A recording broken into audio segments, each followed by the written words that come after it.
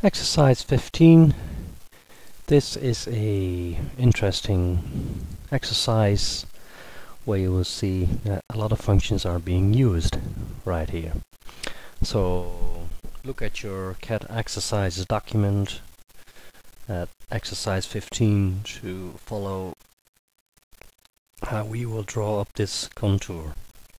We will select all elements, we will delete them and we have to define our reference point. In this case, look at your drawing. In the exercise, we'll we will define a reference point where the horizontal or vertical dash line is and where the dimensions of 18 and 10 are present. So we will start with our first vertical line on the left side by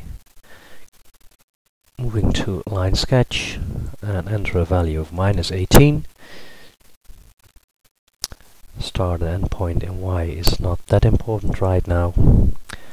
So our next is the fillet of 10 and therefore we need to define our radius of 35 so we move to reset.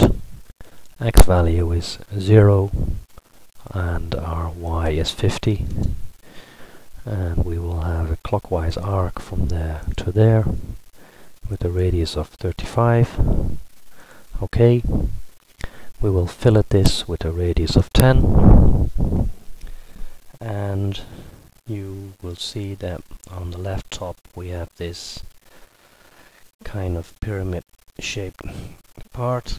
And you will see it's a little bit rotated. What we could do is we could move our reference point, our zero point to the center of this arc, which would be a displacement of our axis of move x0, y50.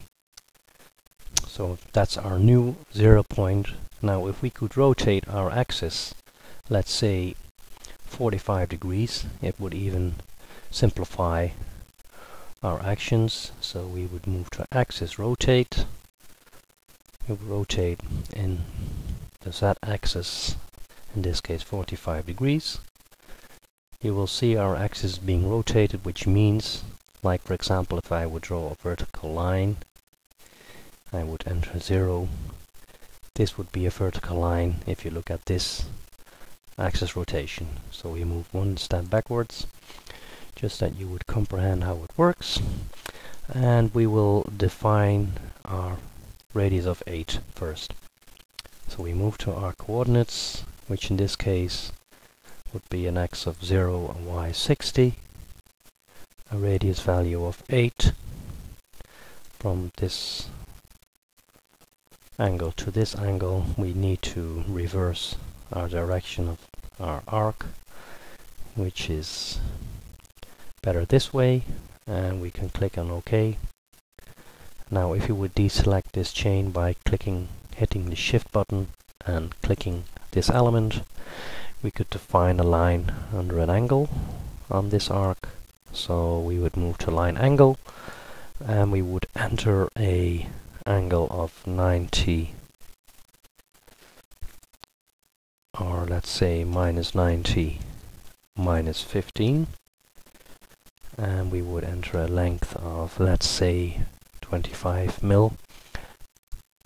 And we would get this line. We could then select this arc and fill fillet this corner with 10 and we could reverse our chain, select a chain, reverse and enter an angle on that side as well which would be minus 90 plus 15 there's our new angle and that would almost say that our problem is being solved here so we could reset our axis which we will we will do by moving to axis reset.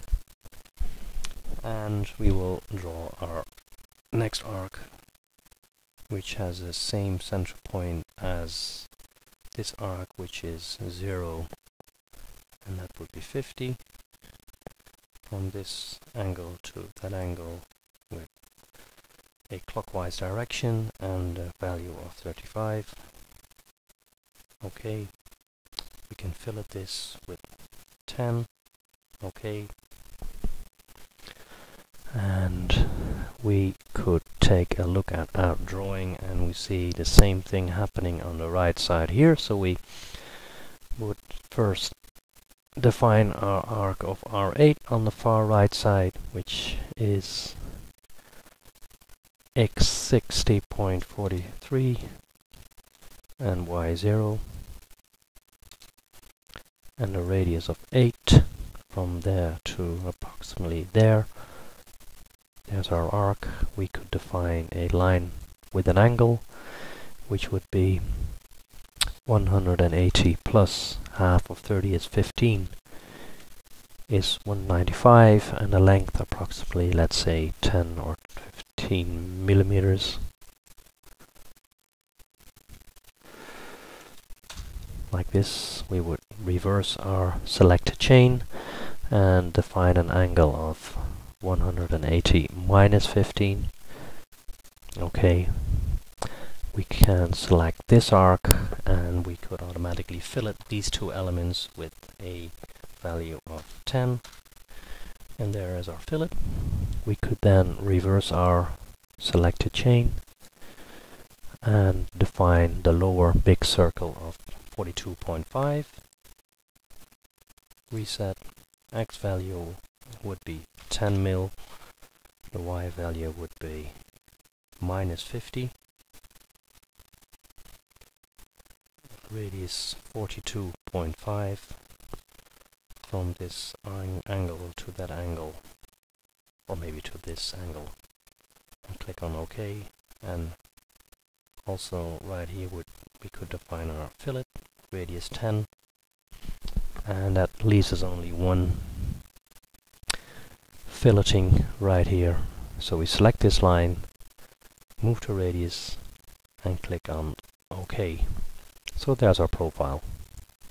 So you can see in this exercise that you would use the axis menu by moving your axis to a certain snap point or you can enter a displacement in x and y and afterwards or immediately immediately. You can also rotate your axis which would give you the opportunity to simplify your actions because like for example this arc was if you look at your drawing being dimensioned from this point under an angle so you would use this sometimes this menu so try to make this exercise and take a look at the website for more videos about Tensor so you can find out more how Tensor works.